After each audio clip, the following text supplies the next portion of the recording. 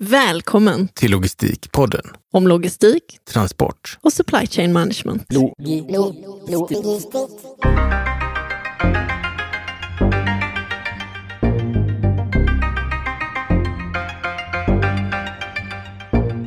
1989 jobbade jag extra på ett åkeri en hel sommar. Kontoret jag satt i var fullt av papper. Från golv till tak, från vägg till vägg. Papper överallt. Det var kartor, det var permar, det var bord fulla med blanketter. Till och med sådana här fack där man kunde stapla papper i olika nivåer så att man fick plats med fler papper eh, på ett skrivbord.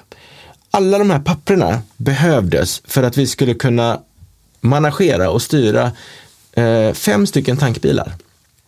De här fem tankbilarna Eh, planerade, så det var ett heltidsjobb att administrera och planera de här eh, fordonen.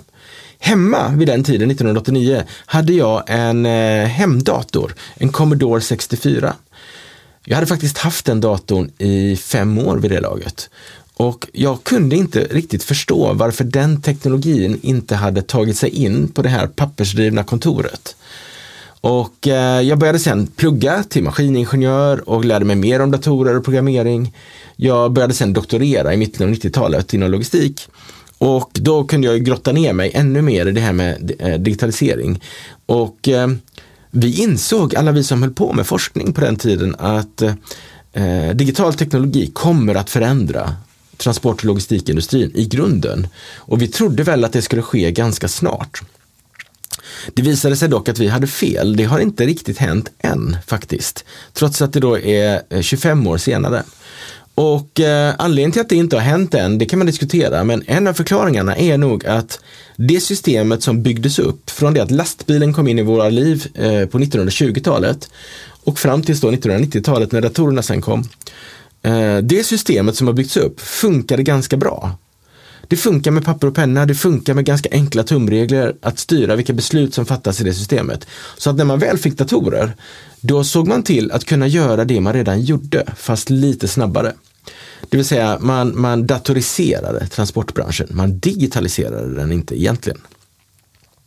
Nu ser vi aktörer börja komma fram som jobbar mycket mer med AI och, och eh, datadrivet beslutsfattande. Framförallt inom last mile-segmentet, men det börjar även komma i andra segment också.